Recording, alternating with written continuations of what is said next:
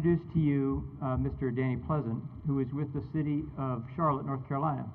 And Danny's been with the city for about a little over 10 years, and he's been there while the city has built um, its first segment of light rail, has advanced planning for bus rapid transit, for commuter rail, for streetcar, for every one of the technologies that George has talked about. And Danny's going to share with us how Charlotte, the city, the community, created a long-range master plan and how they're making it happen and why that's working and some uh, thoughts about how, what's important for us to understand as we move forward. So, is Danny Pleasant. Thank you, Tim. Um, I'm an urban designer disguised as a transportation executive. um, and that's really true. If you'll look at the back of your page, my uh, training is actually uh, actually is in city planning. Um, I was fortunate enough to go to Texas A&M, where, as a hungry graduate student, they were offering jobs at the Texas Transportation Institute. So I got um, to uh, experience a transportation career, and I've been doing that for a long time. and I also want you to know that I have a great deal of optimism about cities, about my city, about your city, uh, about cities in general. And I have that optimism for three reasons. Reason number one is millennials. Reason number two is baby boomers. And reason number three are people like you. Uh, the millennials and baby boomers are important because they're huge population cohorts within our society. The millennials have great interest in urban living. They have great interest in going to the cities. And cities like mine and cities like you are at risk of losing our best and brightest to cities like Washington, D.C., and New York, and Boston, and San Francisco, because they have what those folks are looking for.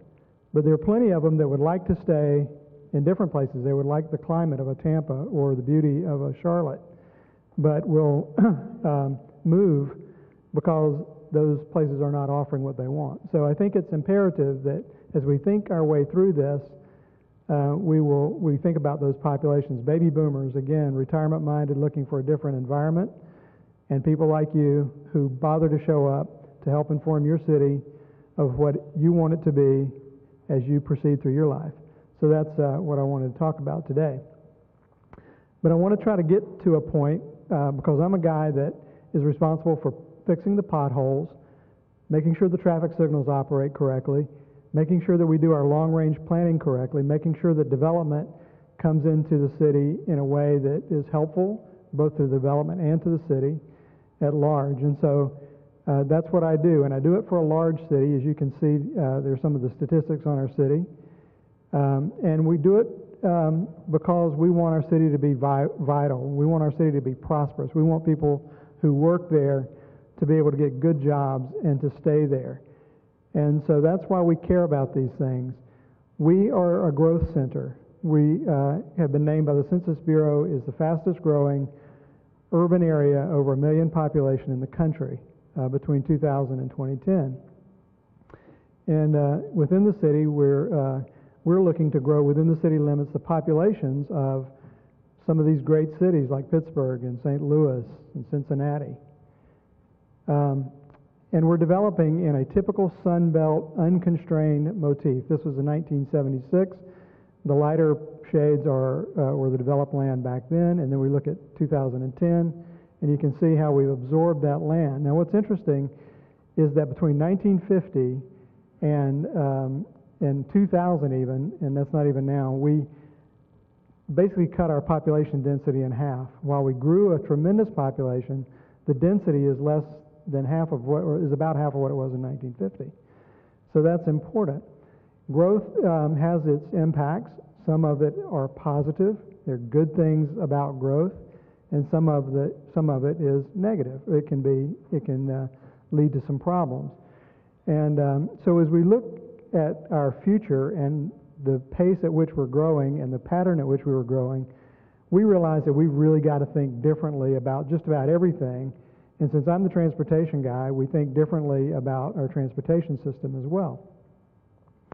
So as we as we grew into the future and will continue to grow, the city uh, asks itself the fundamental question that most all cities that are growth cities uh, want to ask themselves: How do you accommodate that growth and do it in a way that's positive and helpful? And so out of that, we really stepped out there and we stated what our vision is, and every city needs to figure out what their vision is for the future. Um, and we just recognize that we want to be a city of choices. And that's a loaded word because that means choices in housing and working environments and the way you get around, the way you have leisure, the way you educate. Um, and we also want that sustainable growth that actually improves the quality of life and makes us a better place. And the growth framework that we came upon as we thought our way through this, we call it centers, corridors, and wedges. And it's simply recognizing and organizing growth in such a way that you use the assets that you have, you use the infrastructure that's in place to the best of your ability to grow on that infrastructure because we all as taxpayers like to know that, that those dollars are being used very efficiently and effectively when they're invested. And so if we grow for us um, along those historical patterns, those development patterns, along those uh, transportation corridors and within the centers that are already established, that's going to be a much more efficient way for us to use our tax dollars to grow. Um, and then we defined the specific boundaries from a, a, big concept. We really went down to the boundary level and started then calibrating our codes and our ordinances and our design guidelines so that we did the right kind of treatment in the centers, the right kind of treatment in the corridors, and the right kind of treatment in the, in the wedges. And this has been an evolving process to think our way through the centers, corridors, and wedges uh, growth framework um, so that we can define those measures for when we've succeeded. And as we move through that process of thinking about how we operationalize this growth concept, we realize that everything we do as a city, from transportation to how we treat the environment to how we think about economic development and neighborhood improvement and build infrastructure and set aside open space and do public transportation, that all follows this growth pattern that we have envisioned for ourselves. And then we take it down to the next level. We take it down to the real organizational level. This chart, which you're not going to be able to read in detail, is just to give you a sense of how we organize our thinking. And this is called our balanced scorecard. It's the way we, at a glance, operate the business uh, and the corporation that we call the City of Charlotte. And that balanced scorecard has all those components in there that we need that we can really focus down on, on, on the task at hand. We can measure our outcome because you, if you're in business, you know that if you can't measure it, you can't tell how it's performing. You can't decide if it's successful. so, from a transportation uh, area, we have five focus areas within this balanced scorecard. Um, from the transportation uh, focus area plan, we make a statement that we want city to be Charlotte to be the premier city in the country for integrating land use and transportation choices. That means it's not all about transportation, it's not all about land use, but together we recognize those two things are going to be important to shaping our community. So out of those five focus areas that we have, you can see them on the right-hand side of the screen. These are uh, adopted by City Council to guide the work that we do in the city. And within the City Council, the City Council assigns council members to these committees, these five committees that track the focus areas, and then we as a staff at the executive level have the focus area cabinets that, that does the work that the, the City Council has asked us to do around those focus areas. For transportation, this is more or less what it looks like. The top of the graph is Charlotte's vision for the future, as stated, and there's, there's a lot of dialogue around that and a lot of written stuff about that. The centers, corridors, and wedges growth framework then tells us how we accommodate the physical space and the physical attributes of our, our community so that they can work. Underneath that, because this is a transportation uh, uh, talk, is the Transportation Action Plan, which is our comprehensive transportation plan, multimodal, all modes, um, automobiles, buses, transit, walking, bicycling, all that.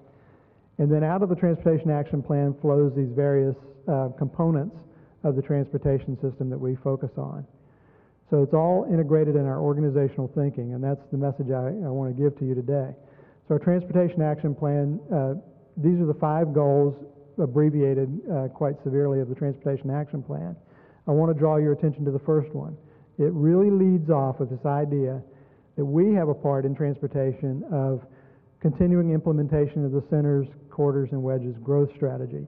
It is a direct land use connection, first and foremost, out of the box. And then goal number two is the stuff that you would expect in a transportation plan. How do you build transportation infrastructure so that it works rightly for your city? And then certainly, uh, we put a huge value on collaborate, collaboration. Um, it's a high level expectation of our city manager and our city executive team and our city council that we're talking to each other. We're working together both internally and externally in the city to make sure that, that these things aren't happening, happening in a vacuum. And it's so, so easy for us as subject uh, area specialists to get into our silos and really think only one way about the, work that we do. And communication of these land use objectives and then seeking that financial help to get us to where we need to go. Those financial resources are all important. Um, part of our work is through the Urban Street Design Guidelines. Ian gave you an excellent talk about the importance of streets. And I want to tell you that my belief as a transportation director of the city of Charlotte um, and that of my staff is that streets, first and foremost, are public space. They are part of the public realm. I'm the largest real estate manager in the city of Charlotte. I manage 25,000 acres of real estate. And if your transportation executives aren't thinking like that, like they're stewards of a real estate asset, then they need to think it again. Public streets are your number one way to inform visitors to your city and the people who live here the quality of your city. 100% of your citizens and 100% of your visitors will experience your city by the streets. And so that is your stage. Um, certainly, the development bones, everybody understands that you don't develop without streets. Context based means you build the right street for the right location. So, Ian's given you all the good stuff you need to know about good streets.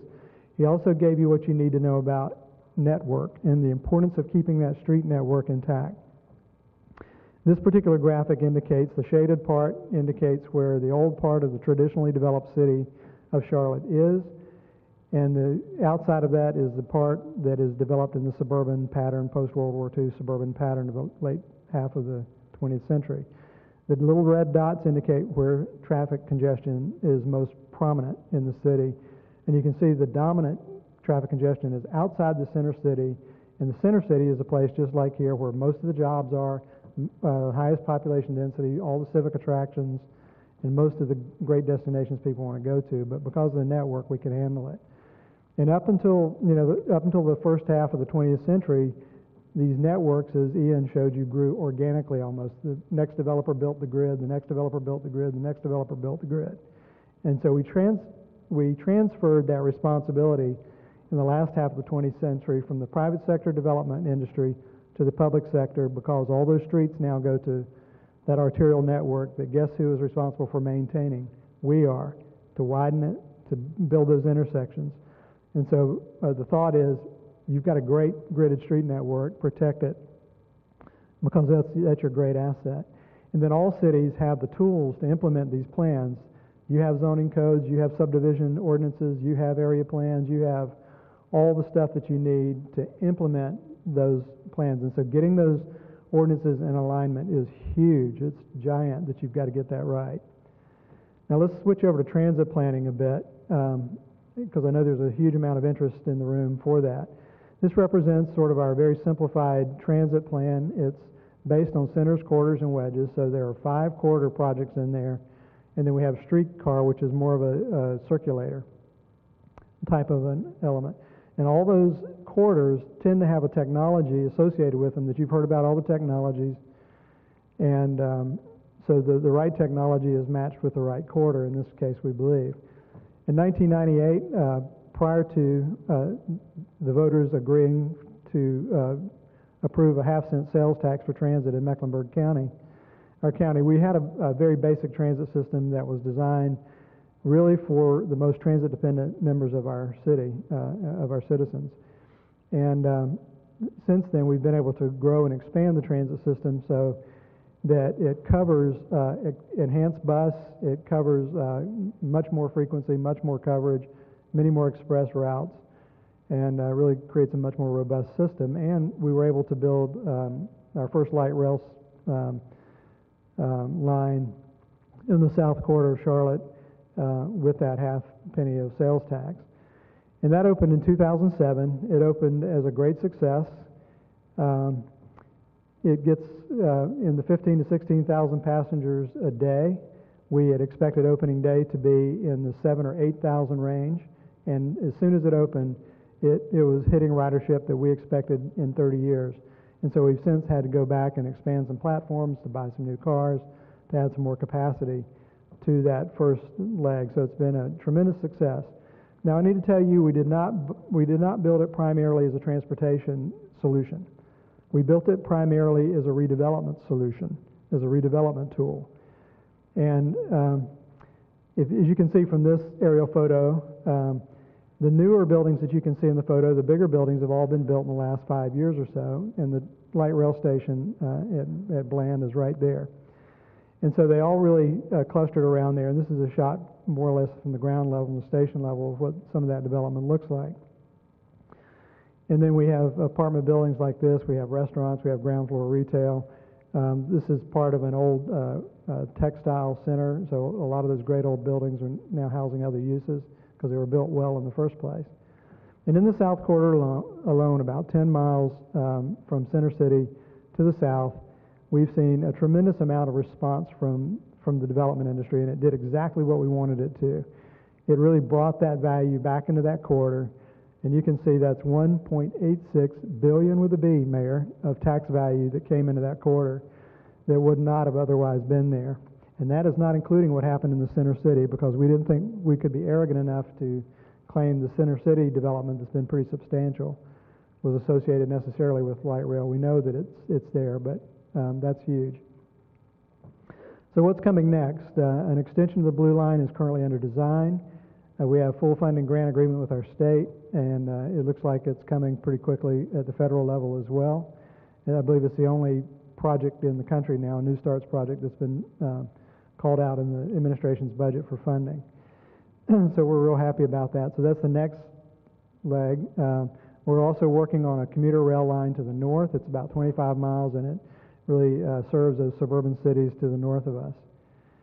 And then we've, we've got a streetcar uh, project that's underway. It's part of our plan. So we're looking at a very small section, about a mile and a half, just as a little starter line. It's been funded that we will start work on in the fall. We'll actually start construction in the fall. And there's a kind of an interesting story behind this one.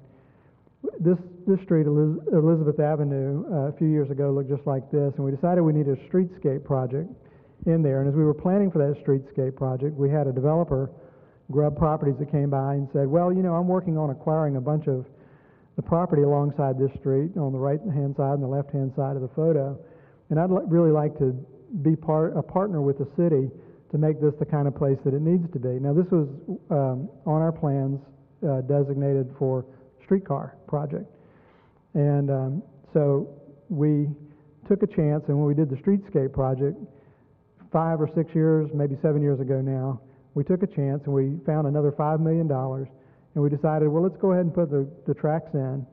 Let's go ahead and build the, the light standards to such a strength that the catenary can fit there over time. And, you know, we'll say our prayers and hope we don't get in trouble by spending that money too far in advance and wait for, for light rail or for a streetcar to come. And so, uh, streetcar is coming. It'll be uh, open in probably a year and a half from now. This is sort of the vision of what that can look like in the future as we move forward. And this is the vision that the developer worked on for the lands that he has already purchased. Um, the, a big hospital uh, conglomerate there is funding a lot, financing a lot of this development uh, to take place, and it's it had its setback just like development has generally with the economic conditions. They're starting to work on that again. So the city, our county, uh, partnered with these various development interests in uh, really creating uh, the kind of place that we're going to look forward to opening up. There's also a large community college there along the corridor um, as well. So just in summary for the transit char characteristics, I think the lessons that we can uh, that you can learn from Charlotte and take with you is make sure that as you heard um, the previous speaker talk about, make sure you get the right application to the right context and, and doing the right kind of job for you in order to be successful. Some of these are going to be better at development than others. Some are better at carrying large numbers of people than others. But you just really got to make sure it fits right. And this is sort of our menu of things that uh, appear in our plan as well. Now, if you don't take anything else away from my talk, and this is really my passion because uh, i love cities, I'm optimistic about cities, and I think the future is, is going to be favorable. And we, as um, people who love cities ha- have to be very careful that we make the right moves to prepare for the future. Uh, the Knight um, Foundation uh, operates in those cities that traditionally have had newspapers that were published by the Knight Group. And they do this thing called a soul of community. Uh, that they hire the Gallup organization to do this. And each city kind of has a different outcome. In our particular city, uh, our citizens told us that the reason they really love Charlotte is because it's a beautiful area. It's got a physical beauty that they like. They also like the openness of the people and the ability to socialize. And uh, finds that that really is that sort of that, that emotional response that people have that want to be part of our city. And so it's really important for us that our city look the best it can. And as I told you, that look comes from uh, its street system. As they delved further into this, they also realized that when people are emotionally attached to their community, they want to stay there, they want to open businesses, they want to create jobs, their kids want to be there, they want to be part of that lively, vibrant nature of the city. So I wanted to just leave you with that thought and just thanks for your attention.